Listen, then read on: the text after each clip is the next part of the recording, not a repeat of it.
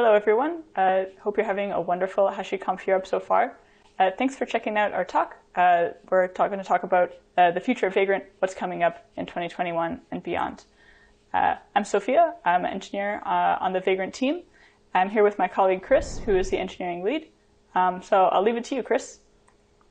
Great, thanks. so before we get started, I want to have a quick look just at Vagrant's history.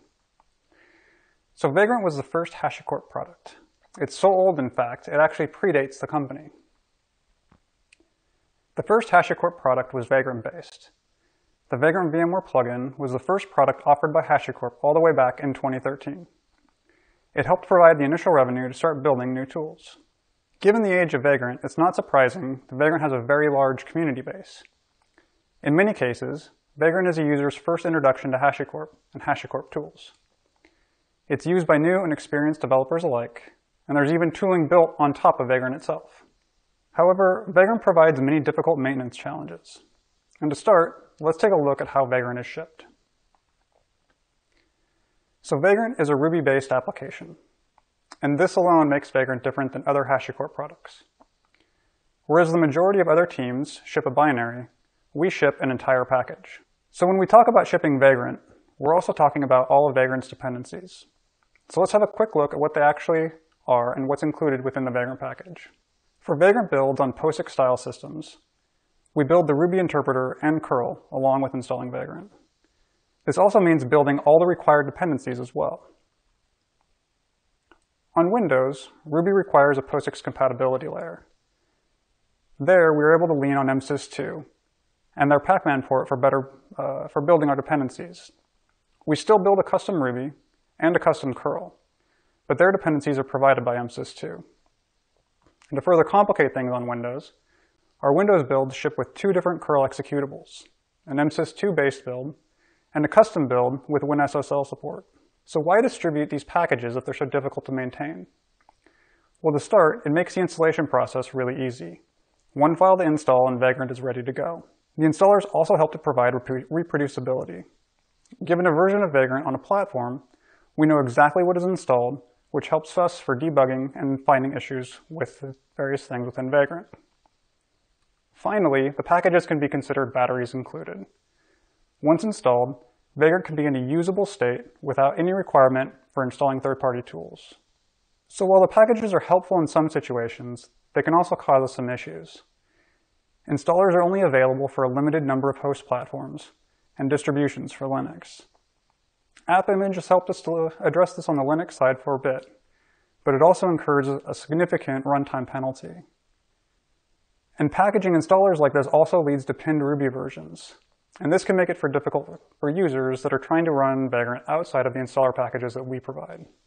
There's also other issues that we find with these heavy package installations. Tools that are provided with our package may conflict with other existing installations. Terminal users uh, also can have issues, especially on Windows. And this generally crops up where a custom terminal may be, may be being used by a user that's powered by Cygwin or MSys2. And finally, plugin installation can become difficult due to dependencies and the system not being able to properly resolve them. So while packaging is a big challenge that we deal with, the internals of Vagrant also provide their own set of challenges. Vagrant currently includes around 70 built-in plugins. And this means that the Vagrant team maintains a lot of plugins. These plugins include 38 different, different guest plugins, 12 host plugins, 10 providers, 4 different 10 provisioners, 4 providers, and 3 different communicators. Having all these built-in plugins is great, as it helps us ensure the interface for the plugins is robust and functional. However, once included in the core, these plugins are assumed to be fully supported. And that means that we spend a lot of time maintaining plugins that may not see much actual usage. While having built-in plugins helps us maintain the plugin interface internally, it also introduces hardships on the maintenance of the plugins themselves. Since built-in plugins ship with Vagrant, any fix or update requires a full Vagrant release. And depending on the state of Vagrant's current development and what's in process, there may be a significant delay between updates getting merged and the availability of it in an actual release. These types of delays don't impact non-built-in plugins, as they have no hard requirement on Vagrant's release cadence. There's also some architectural constraints at play as well. Some features often requested are either not possible or require difficult workarounds. Some of these include GUI interfaces for interacting with guests, remote system support for hosts for Vagrant guests, as well as just sharing Vagrant projects themselves. Vagrant is not architecturally well positioned to solve these new concerns in its current state.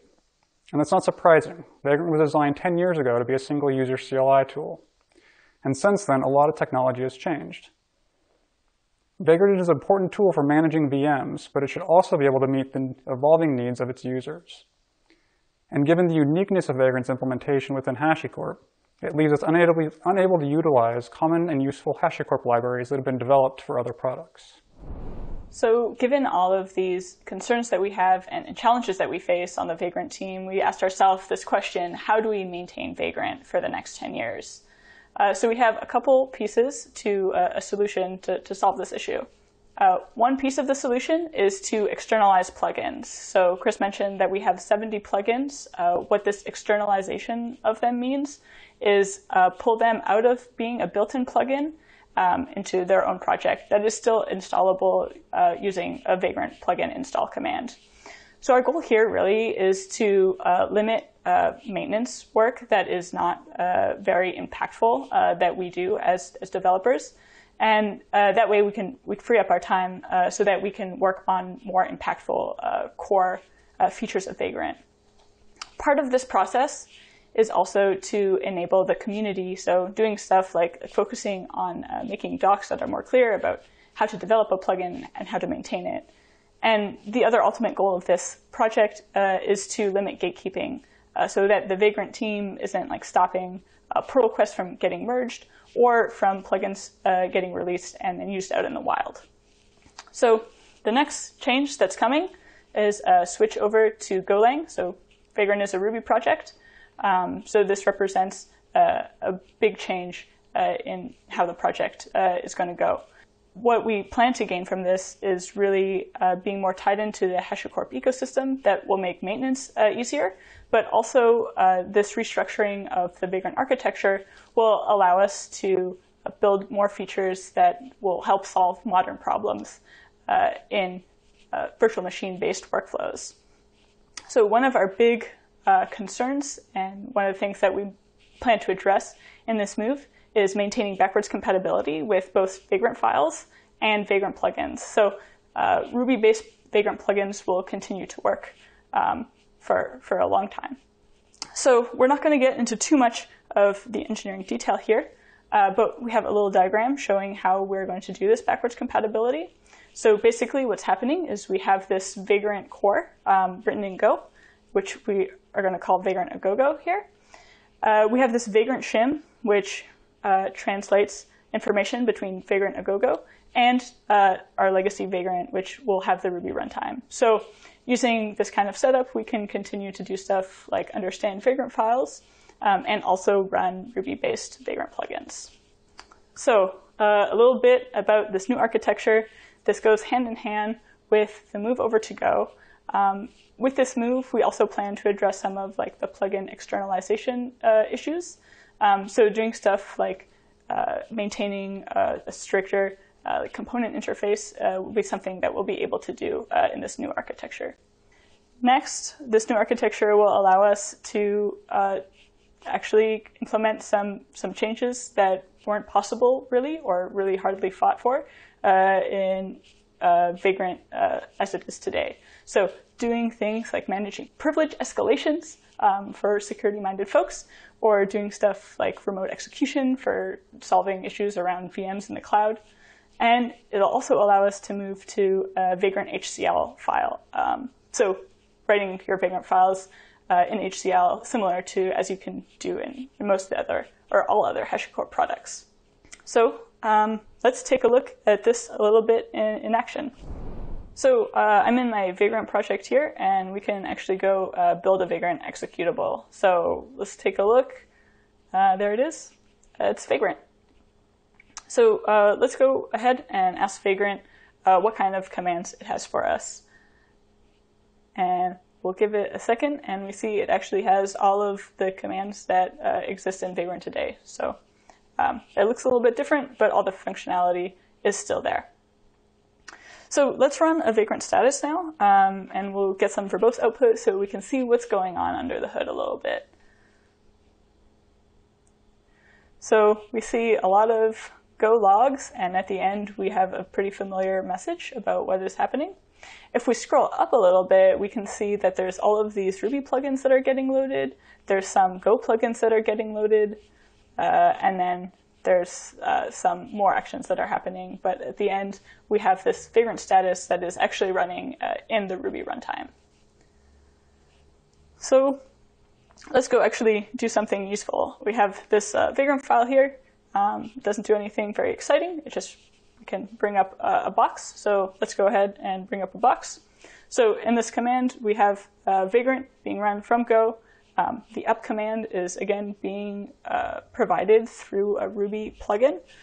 So this is all getting executed uh, in like the vagrant implementation of Ruby, and all of this output is coming from there too. So if we wait a second, uh, we'll have a machine up. Fortunately, Vagrant Agogo hasn't solved the issue of waiting for machines to start up.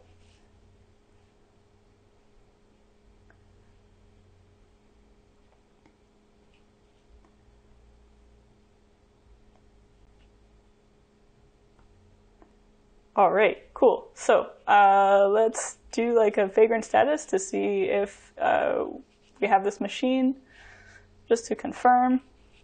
And again, this is being run uh, in the Ruby side. Uh, so uh, we see that we have a beautiful uh, VirtualBox running. Um, so let's move on to running some Go plugin. So I have this plugin called My Plugin. It's a very exciting name. It does some very exciting stuff. For example, um, doing things, being interactive, and showing info.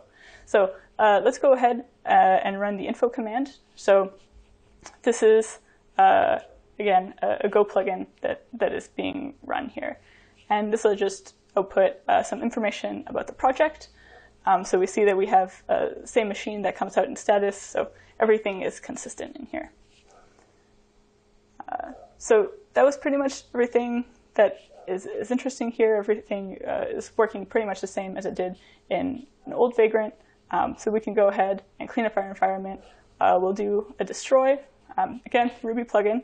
So all of this is coming from Ruby. You can still interact uh, with the console in the same way. Um, and we destroyed the machine. And let's do a vagrant status one more time, uh, just for good measure to make sure that our, our box, our, our, virtual machine has come down. Cool, and it's down. The main takeaways from that de demo, uh, we have a vagrant CLI that is written in Golang. Um, core Vagrant is, is written in Golang here, or parts of it. Um, we still have Ruby plugins that uh, can be used. Um, and we have new Vagrant plugins that can be written uh, in Golang. Um, but most importantly, everything still works the way it should. And as an end user, you shouldn't really be uh, seeing any difference in how you interact with Vagrant. So um, now the exciting part, when do we get to play with these new fun toys? Um, so right now we're on Vagrant 2.2, uh, 2.2x, and through the 2 series we will continue to be shipping Ruby uh, with our Vagrant installers. Um, so in this series we're going to be porting uh, the rest of the core of Ruby, uh, core of Vagrant into Go. We'll be doing this plugin externalization piece, um, and that includes doing stuff like uh, deprecating and, and porting plugins. Um, by the time we get to 3 series, we're going to stop uh, shipping uh, Ruby with our packages, and we'll just be shipping pretty much uh, Go binaries. Um, for uh, plugins that are still Ruby, um, we'll still be able to support those, but it'll be more of like a bring your own Ruby situation. So in a slightly adjacent topic, um, the VMware plugin uh, we are open sourcing. Uh, if you're interested in checking that out, it's going to be up on GitHub at HashiCorp slash Vagrant VMware Desktop. And similarly, Vagrant Share uh, also getting open sourced, and it'll be at HashiCorp slash Vagrant Share. So long term, um, what we really want to do here is be able to address uh, modern issues with virtual machine-based uh, workflows uh, using Vagrant. And this includes uh, integration uh, with HashiCorp tools, um, and also really want to emphasize we have a continued commitment to the community. So we hope you enjoyed this glimpse into the future of Vagrant. Please watch the HashiCorp blog for more detailed information that was covered here, including about our timeline and the open sourcing of the plugins. Thanks very much for coming, and enjoy the rest of HashiConf EU.